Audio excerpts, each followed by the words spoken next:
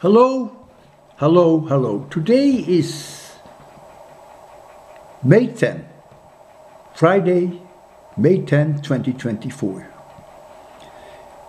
Yesterday there was an enormous coronal mass ejection from the Sun, which was in the direction of the Earth. The speed with which this mass ejection moves is could be as high as 3000 kilometers per second. The Sun is at a distance of 150 million kilometers from the Earth. In other words, it reaches the Earth typically 10, 20 hours. It is predicted that therefore we will see northern light in areas where perhaps we have never seen it before. As far south in the United States as Alabama, which is a, at a latitude of 31 degrees north whereas uh, Boston is 40 degrees north.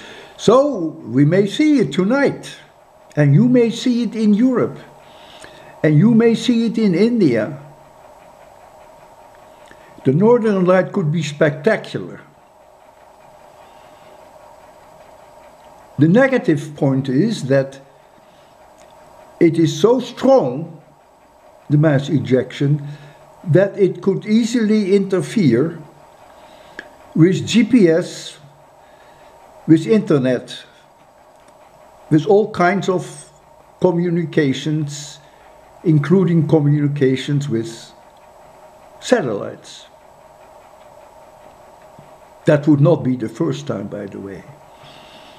But the last coronal mass ejection that was as strong as the one that happened yesterday was in the year 2005. So, no matter where you are on the earth, if your latitude is perhaps farther north than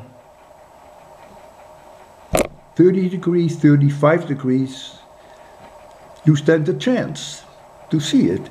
And if you miss it today, you may still have a good chance to see it tomorrow and maybe even the day after tomorrow. If you've seen it, I'd love to hear you from you on my channel.